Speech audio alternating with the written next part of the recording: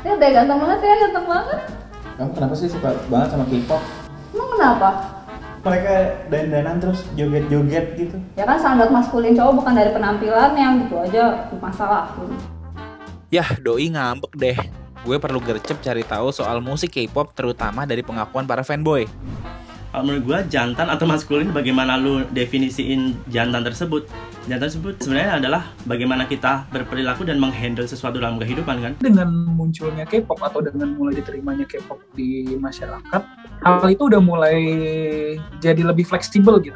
Kita masih tetap bisa dilihat sebagai laki, meskipun dengan joget-joget, dengan bermake up apa segala macam. Mungkin ini adalah sebuah gambaran bahwa musik itu tidak mengenal ya apa pun background kita yang mendengarkan.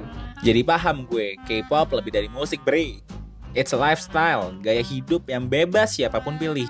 Kalau menurut kalian gimana? Ada pengalaman gini juga nggak?